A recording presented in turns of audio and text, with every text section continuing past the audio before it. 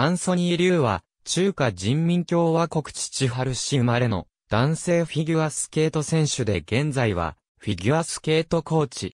1998年長野オリンピック、2002年、ソルトレークシティオリンピック男子シングルオーストラリア代表。黒竜交渉の父春市に生まれ、7歳の頃にスケートを始めた。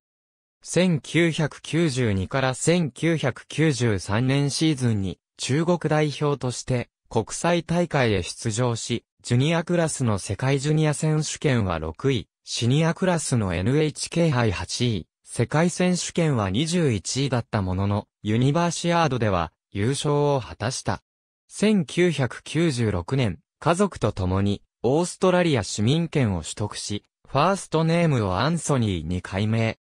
1996から1997年シーズン以後、オーストラリア代表として活動を始めた。1997から1998年シーズン、長野オリンピックの予選会に指定された、カール・シェーファーメモリアルで2位となりオリンピック、出場枠を獲得。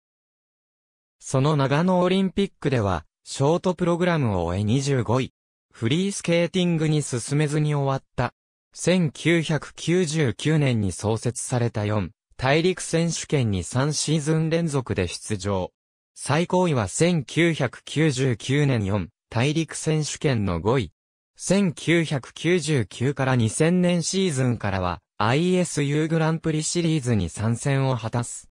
2002年、2度目のオリンピックとなったソルトレークシティオリンピックは前回大会から大きく順位を上げ総合10位。2002から2003年シーズン、オーストラリア選手権で7度目の優勝を果たし2003年、引退。現在は拠点をアメリカに置き、フィギュアスケートコーチとして活動している。